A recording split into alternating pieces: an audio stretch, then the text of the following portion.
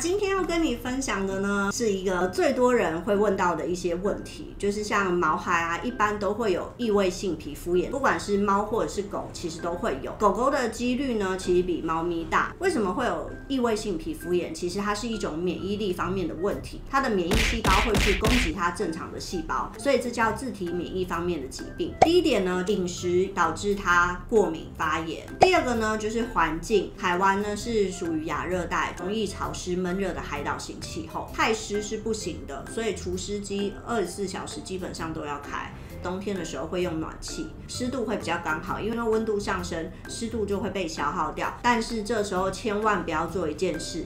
很多人会去用什么加湿器放水，然后会喷雾式的那种，其实都非常的不适合台湾。台湾本身就已经够湿了，非常容易就是诱发这个过敏。那香氛类还有也不建议的原因，就是因为毛孩们他们自己味觉跟嗅觉的敏锐度其实是超级高的，然后还有一些接触性的过敏源。例如说是呃，可能你的洗剂、布置的家具啊、窗帘啊，上面可能都会有一些尘螨，出去外面草地滚滚之类的，也会有一些寄生虫。所以其实异位性皮肤炎非常难确诊，也非常难找出正确的原因。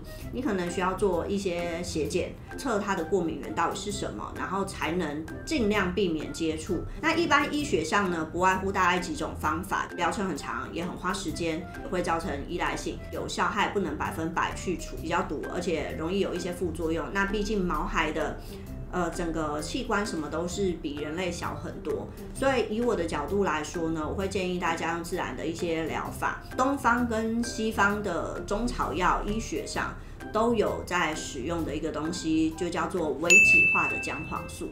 姜黄跟姜黄素是不一样的，姜黄素是经过萃取的，把有效的成分从姜黄中萃取出来，需要一大堆的姜黄或姜黄粉。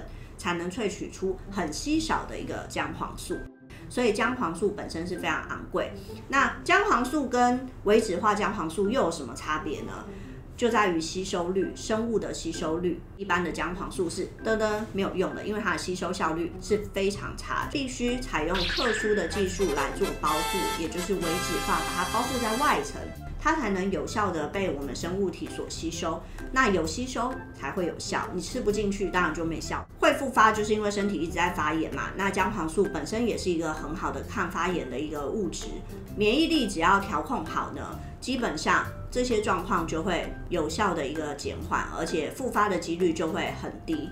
那可以把它添加在他平常的饮食当中，是一个很不错的选择哦。在这里就跟你分享到这边，那我们下一次见。拜拜！爱宝宠物保健专家，关心您家毛宝贝的健康。